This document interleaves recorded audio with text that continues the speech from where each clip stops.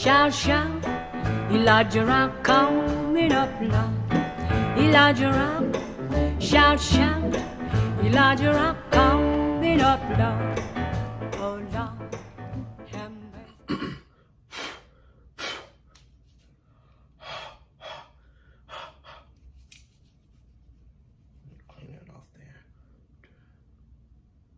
Oh, hey. Hey, y'all. I didn't see y'all sitting right there. How you doing? It's been a while since we've spoken, a few months ago. I hope everybody's uh, getting along well uh, with COVID and uh, protests and everything. I hope everyone is uh, being safe, taking precaution, and, um, you know, just just being safe. Um, small talk, cut short. I wanted to get on here today uh, to read you guys a poem that I came across a while back. It is called Verses on Villainy.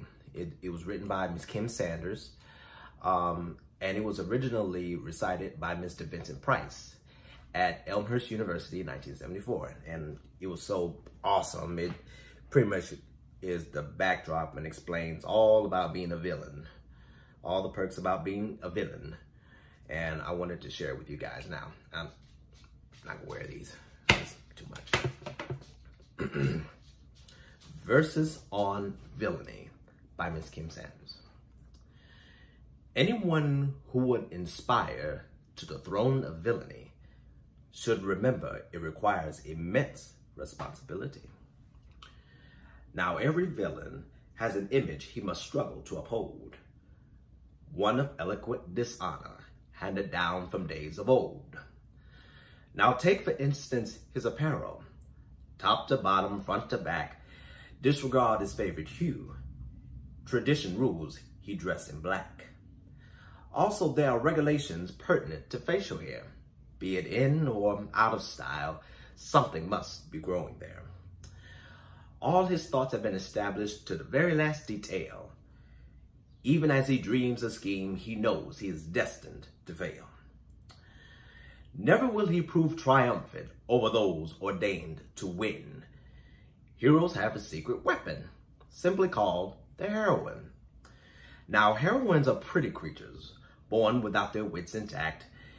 They like to strain their vocal cords, but seldom think and never act.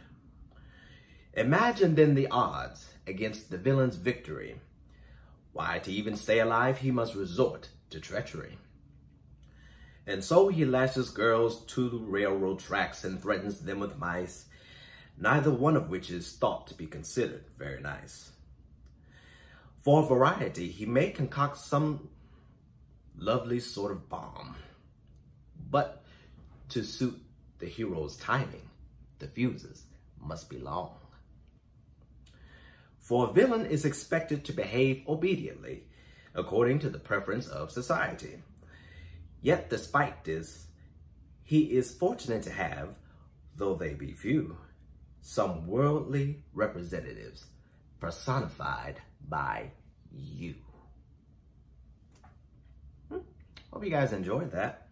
Again, it is called Verses on Villainy.